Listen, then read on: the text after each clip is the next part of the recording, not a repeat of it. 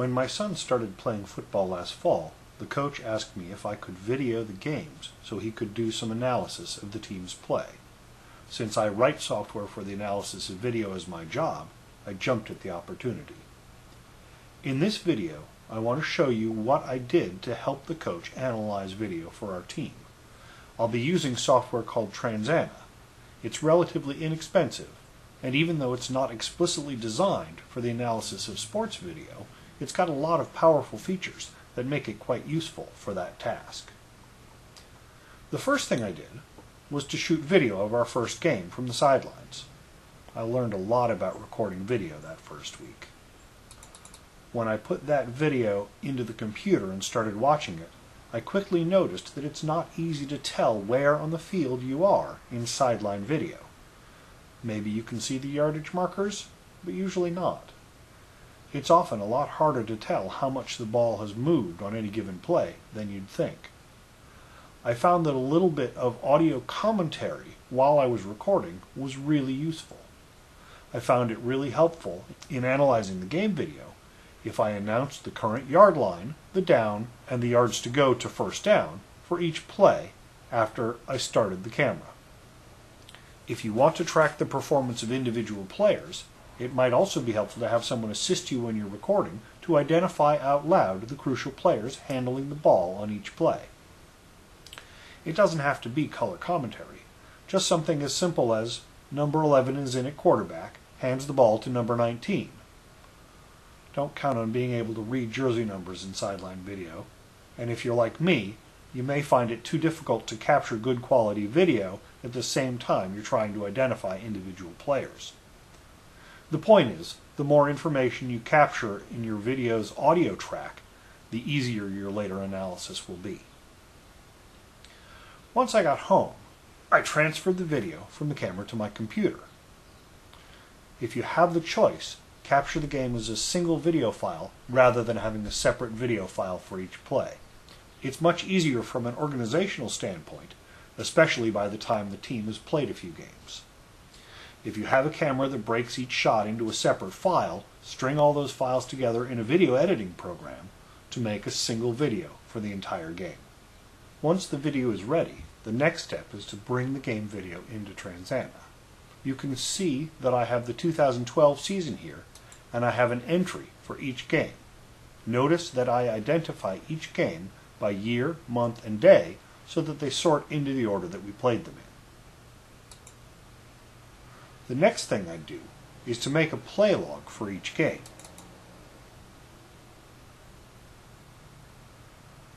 The log is made up of a time code, which team was on offense, the down and yards to go,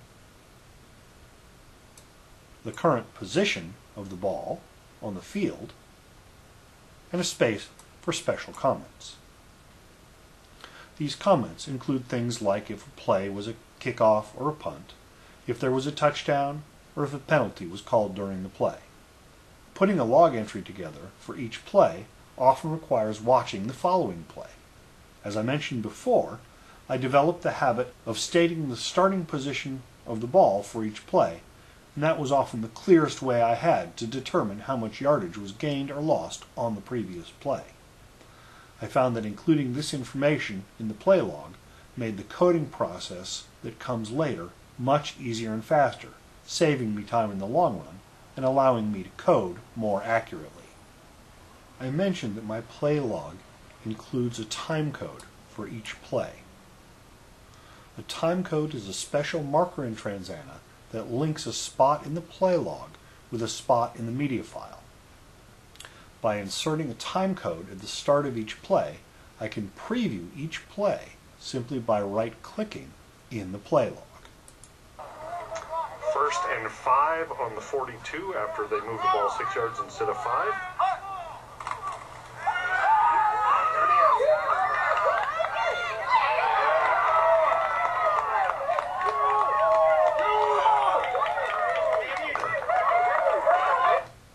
It's important to get the time codes placed correctly, one at the start of each play, because the time codes are how Transana figures out when each play starts and ends.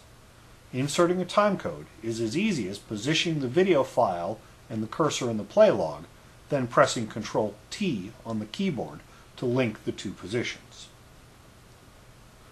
Once the video is divided up into individual plays in the game log, the next step I take is to code each play.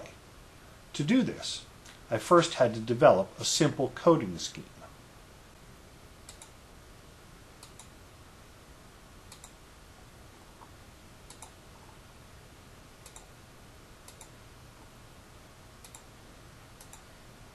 The purpose of coding is to make it easy to analyze your game video in very flexible ways, so your coding scheme should reflect the things about each play that you find important.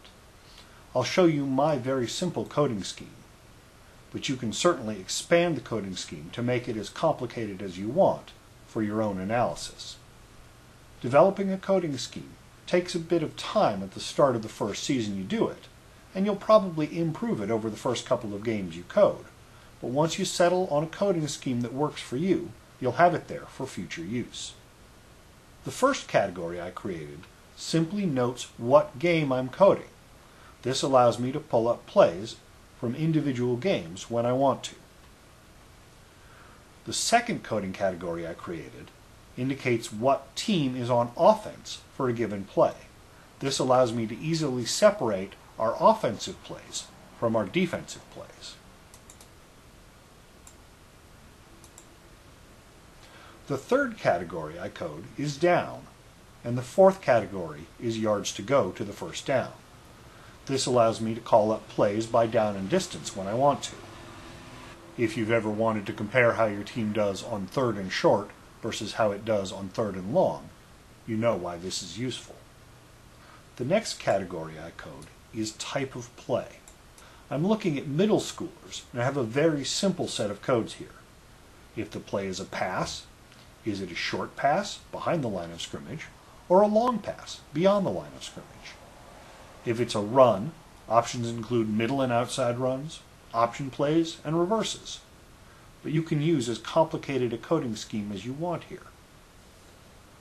My next category is usually one I call key player, where I code the players involved in crucial roles in a given play.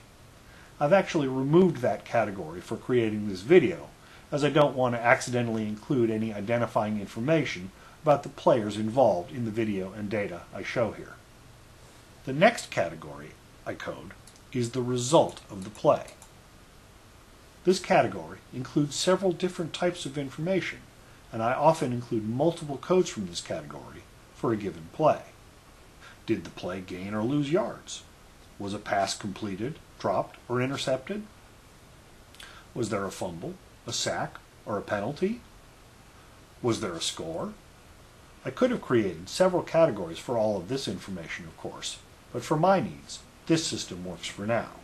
I can always change it later if I need to, moving existing codes to new categories without losing any data.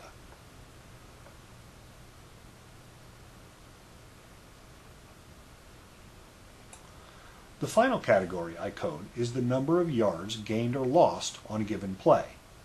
I added this category mid-season when questions started to come up that my simpler yards gained or lost codes in the results category couldn't answer. This information is useful for looking at game stats as well as stats for individual players. I only coded this category for my team's offensive plays, not for the plays where the other team was on offense. I should mention that this coding scheme evolved across the season. You don't need to worry about getting everything set up just right at the start of the season.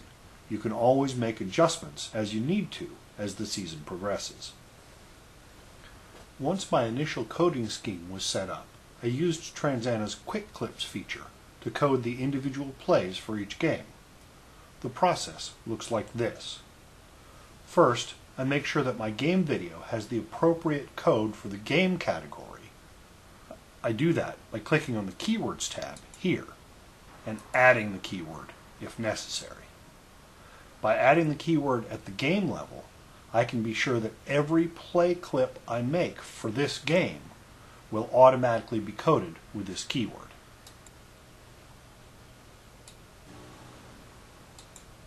I also check the options menu to make sure that the Quick Clips warning option is turned off. We'll be adding multiple codes to each quick clip we create and don't need to be warned about the clip already existing when that happens. I then highlight each line from my game log one at a time.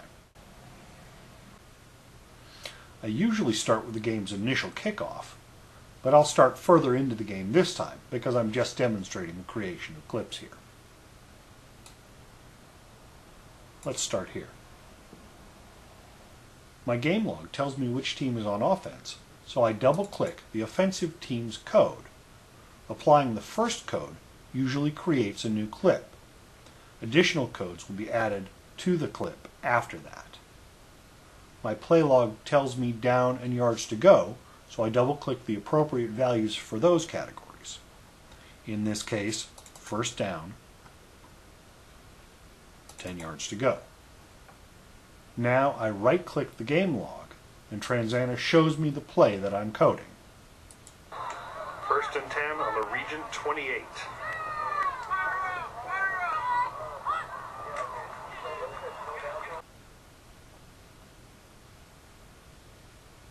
After watching the play, I can code the play type and the results of the play. I can do a bit of quick math based on the play log and add the value for yards gained or lost. As mentioned before, I only code this last category for our team's offensive plays, not for the offensive plays of the other team. In this case, the play was a middle run. And the result was negative yardage. In this case, a loss of one yard. You may well be wondering what I've just accomplished by doing this. Let's take a look. We scroll up here to the collection section and we see something called the Quick Clips collection. Inside that, we see our first clip. Let's double click this clip. That loads it in Transana's interface. As you can see, we get just one line from our game log in the transcript area of the screen. When we press play in the video window, First and 10 on the Regent 28.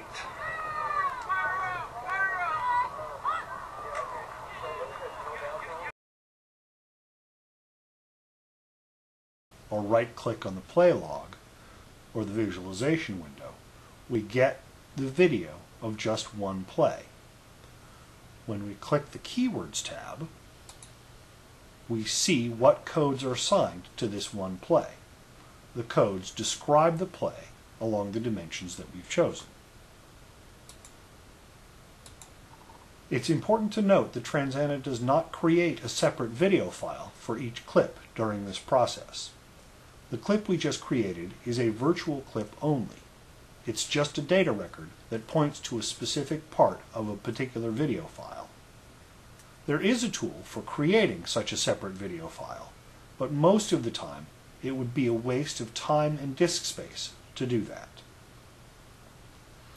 At this point, let's right-click our clip and choose Locate Clip in Episode. This takes us back to where we were before, in our game log for the entire game. We can now proceed line by line, play by play, until we have coded video for the entire game. Once you're used to the system, it doesn't take long at all to create and code these clips.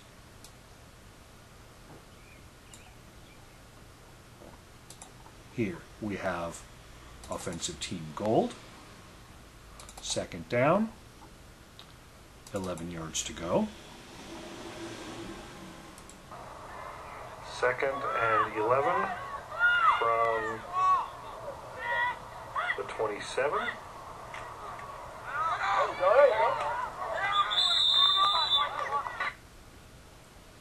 We have a middle run,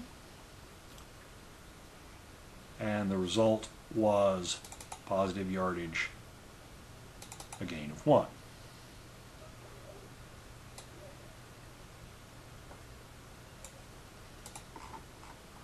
For our next clip, the offense is gold. We now have third down, 10 yards to go. Third and 10 from the 28, the Regent 28.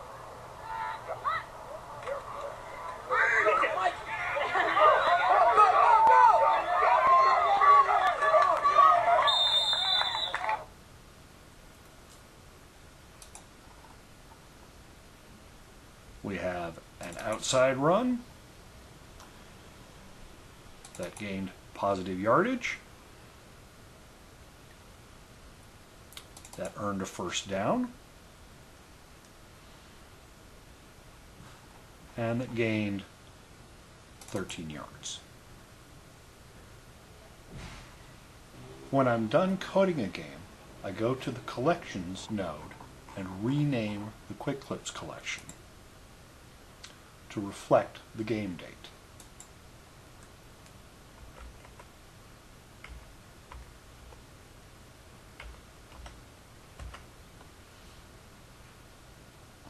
That way, I can keep the clips from each game separate, which makes things easier when I want to find a specific clip to change its coding, for example.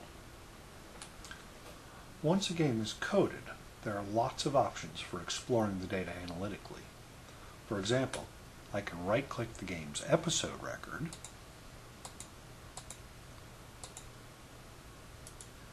and choose Keyword Map. This map represents all the coding across the timeline for the whole game. It looks really complicated at first, but there are a lot of ways to customize it, and you can use it to see how the game went overall. For example, I've created configurations for just the offensive plays and just the defensive plays. And this allows us to see how we're doing on each side of the ball by exploring patterns in coding.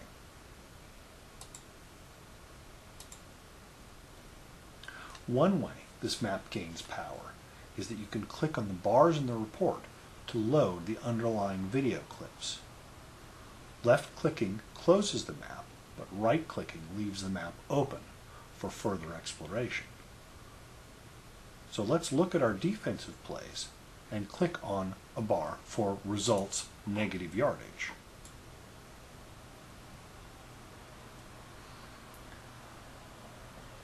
Now we can see a play where our defense held the line well. First and 10 on the Cardinal 14.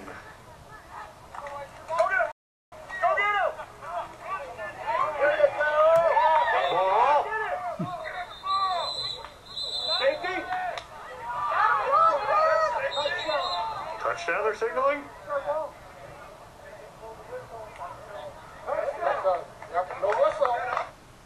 The keyword map is a great way to find plays that meet certain relatively simple criteria. Once identified, these clips can easily be copied into a new collection of specific clips that we want to share with coaches, individual players, or the team as a whole.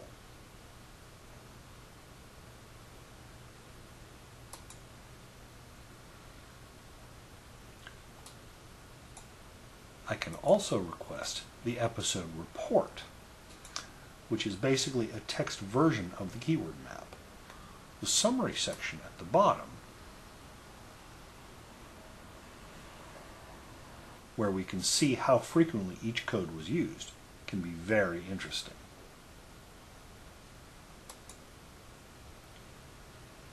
Another great way to explore the data, particularly to look at data across games, is using Transana's search tool. The search tool allows us to specify complex criteria to sort through our coded data. To access the search tool, right-click the search node in the database tree and choose search. Let's start by creating a relatively simple search. Let's look for plays where the offensive team was gold and where the result of the play was a touchdown.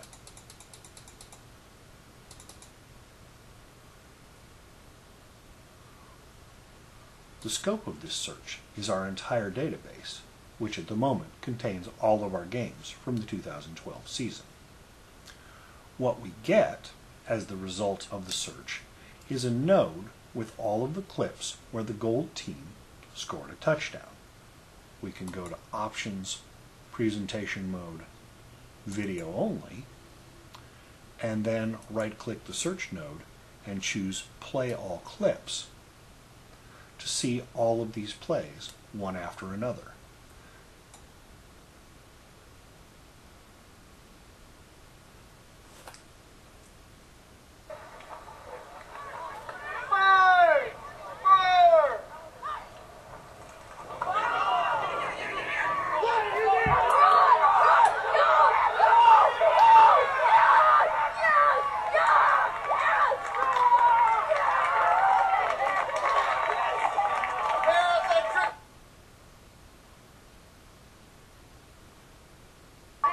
Back on the side's 44 yard line, it is second and 20 something.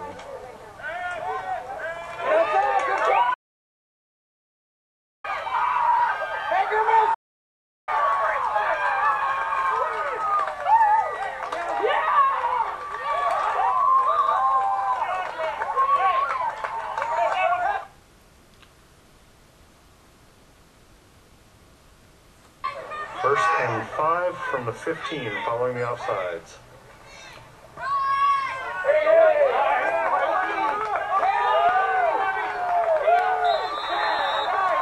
Touchdown!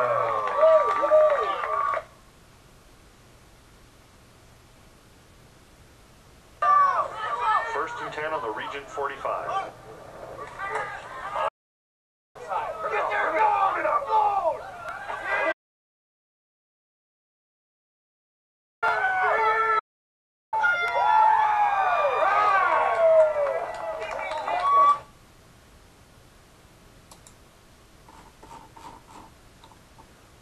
Also right-click the search results to get a collection report that covers just these search results. If we look at the collection report for our touchdown plays only, for example,